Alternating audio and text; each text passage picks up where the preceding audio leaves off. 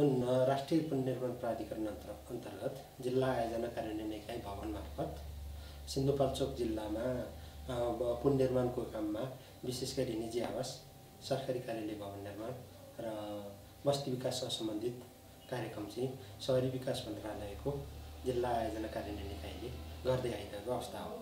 र त्यसमा पनि निजी आवासतर्फको जम्मा लाभग्राही सङ्ख्या त्रियासी हजार छ सय त्रिसठी मध्ये सम्झौता भइसकेका लाभग्राही सङ्ख्या हालसम्म अठहत्तर हजार पाँच पाँच सय पैँतिस छ भने पहिलो किस्ता पाउने लाभग्राही सङ्ख्या अठहत्तर हजार पाँच सय पैँतिस।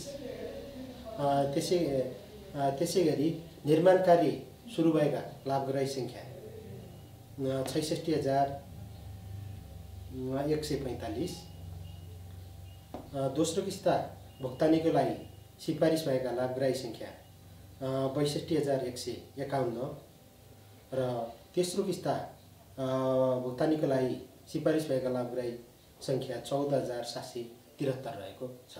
वास्तवमा भूकम्पबाट यदि जग्गा जमिन सबै क्षति भएको अवस्था र यदि लाभग्राही सूचीमा परेको छ भने उसको जग्गा जमिन छैन भने त्यस्तोको लागि चाहिँ राष्ट्रिय पुनर्निर्माण प्राधिकरणबाट दुई लाख रुपियाँ चाहिँ जग्गा खरिदको लागि पनि दिने व्यवस्था गरिएको छ। एक।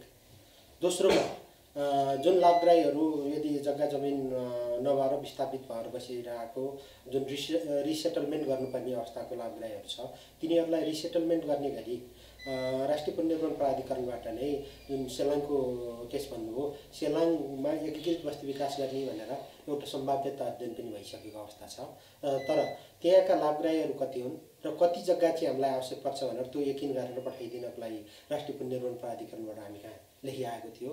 र हामीले पनि सम्बन्धित गाउँपालिकालाई त्यहाँ एकीकृत बस्ती विकासमा बस्ने इच्छुक लाभग्राहीहरू कति हो र त्यहाँको जग्गाको अवस्था के छ भन्ने सबै स्पष्ट गरेर पठाइदिनु भनेर हामीले गाउँपालिकामा जिल्ला आयोजना कार्यान्वयन इकाइबाट पत्रचार गरिसकेको अवस्था छ। जस्तो कि सरकारले जग्गा किनिदिने भन्दा पनि उहाँहरूले आफै नै जग्गा किन्ने हो। र जग्गा किने बापतको रकम चाहिँ नेपाल सरकारले जोबाट जग्गा किन्यो उसको लागि चाहिँ भुक्तानी गर्छ।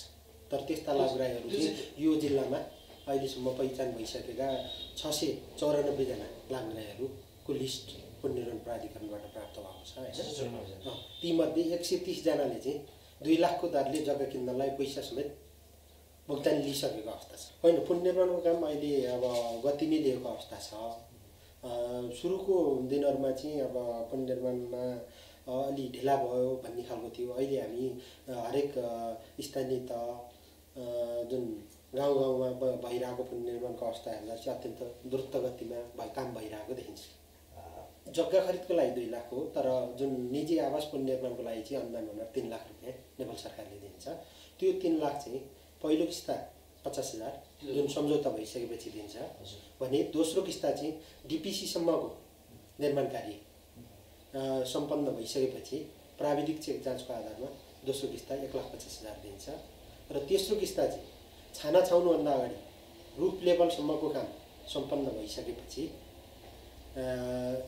एक लाख रुपियाँ दिन्छ र त्यसपछि शौचालय समेतको चाहिँ काम हुनुपर्छ भनेर भनिएको छ। अब बस्ती विकासमा जुन वास्तविक पीडित हो उहाँहरूको चाहिँ अब हामीले वास्तविक पीडित चाहिँ को को हो र को को बस्न इच्छुक र त्यो जग्गाको प्रकृति कस्तो भनेर हामीले स्थानीय तहलाई नै पठाएको छौँ।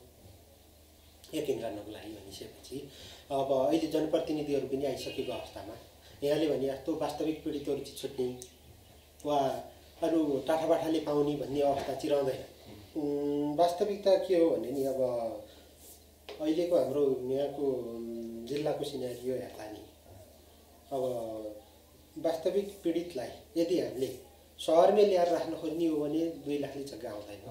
तर अहिले जहाँ पीडित भएर बसिरहनु भएको छ त्यसकै आसपासमा यदि जग्गा खरिद गर्ने हो भने चाहिँ उहाँहरूलाई घर निर्माण गरेर पनि केही काम गर्ने ठाउँ खेतीपाती गर्ने ठाउँ समेत पनि आउने अवस्था चाहिँ छ। एकीकृत बस्तीमा जो विस्थापित भएका हुन् तिनीहरू बस्न पाउने अवस्था रहे जस्तो कि जग्गा जमिन नभएर उहाँहरू विस्थापितै भएर चाहिँ बस्नुभयो। अहिले भन्नुभयो तपाईँले सेप गाउँको कुरा गर्नुभयो नि सेलाङले हो त्यस्तो प्रकृतिको मान्छेहरूलाई हामीले एकीकृत बस्तीमा राख्ने हो। र त्यो बाहेक जसले अहिले भइरहेकै घरहरू पनि दस घरभन्दा बढी छ। हामी एकीकृत बस्ती चाहिँ बनाएर पूर्वाधार विकास गरेर बस्छौँ भनौँ भने पनि नेपाल सरकारले सहयोग गर्न सक्छ। जुन हरेक टोलमा भएकाहरू पनि मिलेर हामी एकीकृत बस्ती विकास बनाउँछौँ हामी सडकको व्यवस्था गर्छौँ बिचमा खानेपानीको व्यवस्था गर्छौँ होइन? ढलको व्यवस्था गर्छौँ विद्युतीकरणको व्यवस्था गर्ने भयौँ होइन? सामुदायिक भवनहरू बनाउने त्यस्तो